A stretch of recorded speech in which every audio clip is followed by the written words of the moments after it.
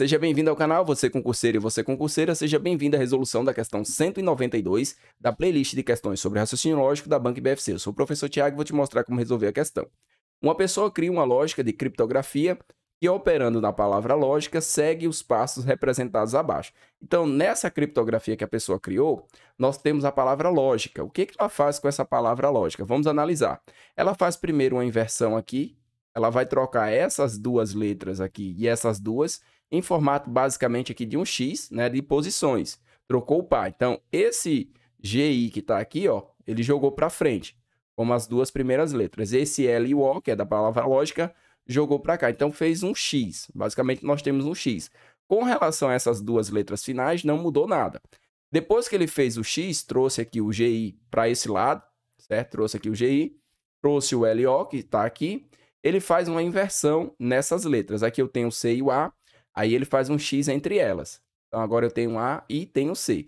E por fim ele pega esse C que está aqui e joga para frente. Então essa é a primeira, a última letra passa a ser a primeira e o restante ele mantém sem nenhuma alteração. O que que nós queremos aqui na questão? A regra de embaralhamento pode ser também aplicada a uma sequência de números. Então vamos usar números para fazer a nossa regra de embaralhamento. Depois de ser aplicada a regra, é obtido como resultado 314159. Então, esse aqui é o resultado, é o número final. Sendo assim, assinale a alternativa que indica corretamente o número original. Tudo bem, o que, que a gente vai fazer? Como que a gente procede nesse tipo de, de questão? A gente coloca esse número aqui do lado, eu vou colocar aqui, ó, 314159.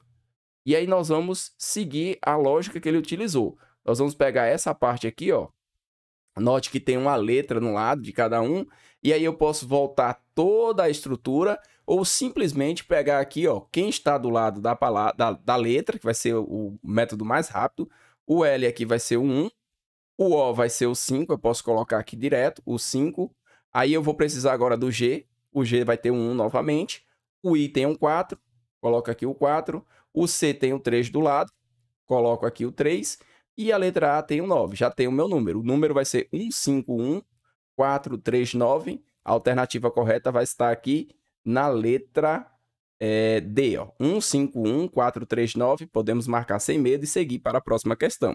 Caso você esteja gostando dos vídeos, não esqueça de deixar o like. E se quiser fazer algum comentário, será bem-vindo. Algum comentário com relação a como eu posso melhorar minhas resoluções e como eu posso te ajudar ou de onde você está me assistindo. Te vejo na resolução da questão 193.